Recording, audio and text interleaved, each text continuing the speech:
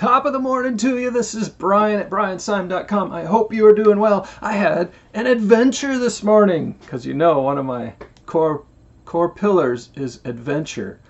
Um, but it wasn't that kind of adventure. Do you have an emergency fund? Do you have it funded and filled up? We do. Um, but we didn't always have an emergency fund filled up that way. Um,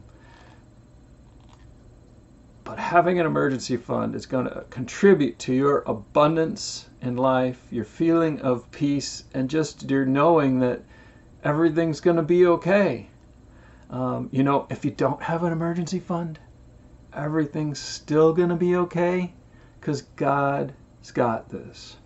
So, back to the emergency fund. Years ago, years ago, I was living on this side of Denver and I was working on this side of Denver. And I was driving back and forth and driving back and forth. And we had this old Jeep 2003, and we still have it. But it took a sabbatical um, one day, and it was a huge repair. And I was driving lots of miles all the way across the city, consuming tons of podcasts and doing online university, not online, automobile university, as Zig Ziglar calls it and the car, the rear axle just pooped out. It just quit. And I'm like,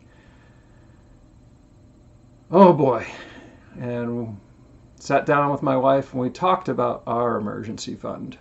And we were able to take out of our emergency fund and pay cash. You shouldn't really do this. It's not the Dave Ramsey plan, but we paid cash for a nice little high mileage not high mileage, high gas mileage little little itty bitty car so I could do that commute all the way across, all the way across, all the way across, day after day after day.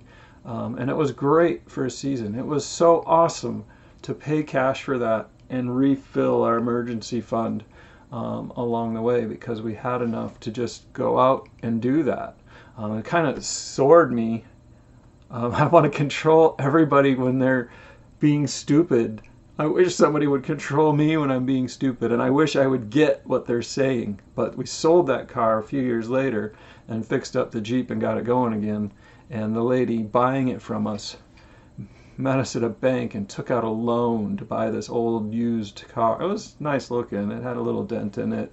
Um, you shouldn't really take little good gas mileage. Um, it was a Kia, a little Kia no, not a Kia. Um, it's almost like a Mini Cooper, a Fiat, a little mini Fiat, a little red Fiat. And I took it way up in the mountains for my retreat when I was working on my life plan one year. But she bought it with credit, and I was kind of like, oh, I'm not sure I should sell it to you or not. And I got scolded by her mom, who was there co-signing her loan.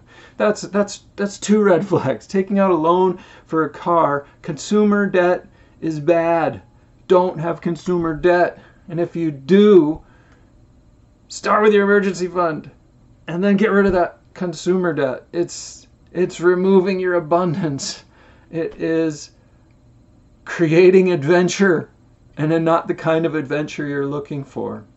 So today I got up and our sump pump has a little alarm hanging down inside of it and the water was like uh, just a little bit below it and was perfect. So I loaded out the water by hand because I think I mentioned the other day our sump line is frozen. Um, so I pumped out the water. He came up, had breakfast with the kids, and as I'm taking Spencer out to the bus, the sump alarm, the alarm starts bleeping off. I'm like, I just emptied it. It must hold, I think our 20 gallon vacuum fills up more than once. So must have had 20 to 30 gallons in it up to the, the marker and like three inches from the top to spill out over the floor in our um, fitness room and our storage room. Um, so I pumped it out again and it was just, it's just pouring in. I think on the front of our house, um, that walk is filled with water. It's been raining um, a lot of yesterday into today. The snow's still melting away. Um, so I've been, we've been pumping it out once a day for the last few days because I'm thinking it'll just melt eventually and, and get going. And then um, I said, well, what did I say last week to you guys? What did I say last week? When I'm talking to you guys, I'm talking to this dude right here, okay? And what did I say last week? I said when you got a problem, get it done right. Get it done right. Get rid of that unwanted adventure. Spend the money and increase your abundance and increase your impact. So, I'd separated it and checked to make sure the sump pump was pumping because I thought maybe that's the problem, but I didn't want to detach all the parts. So I did a little bit of it myself. The sump pump is working. I plugged it into a hose going out the window, got things all into shape, um, went upstairs and called the plumber and said, hey, when can we get on your schedule? So they're coming tomorrow.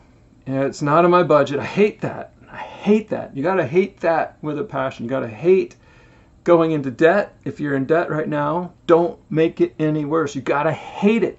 Like, not just dislike it, you got to hate it. And I hate going into my emergency fund just as much as I used to hate going into debt.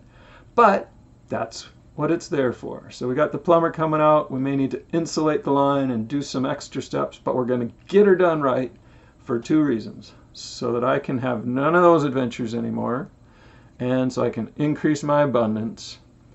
And increasing both of those, decreasing and increasing those in turn, will increase my impact. And hopefully, these stories have made an impact on you. If you need help with your consumer debt, if you need help setting a budget and looking at your finances, that's what I do. I've taught financial peace with my wife a number of times. I coach people on how to get out of debt. I coach people on how to get money. And you know what? I'm really, really good at math. And you know, I had a debt problem years ago. And it's not a math problem getting out of debt. Spending is not a math problem. Budgeting is not a math problem. I'm a math I'm not a genius, but I like to say that because my parents always said that. I'm a math genius, and it's not a math problem. It's behavior. It's you. It's you, you, you, you. And so if you need help on you, I can listen and I can help you find a way to get through that.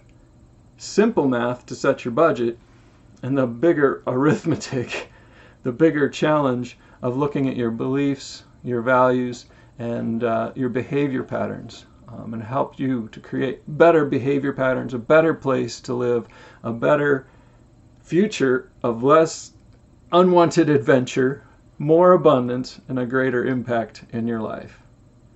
My name is Brian. You be blessed.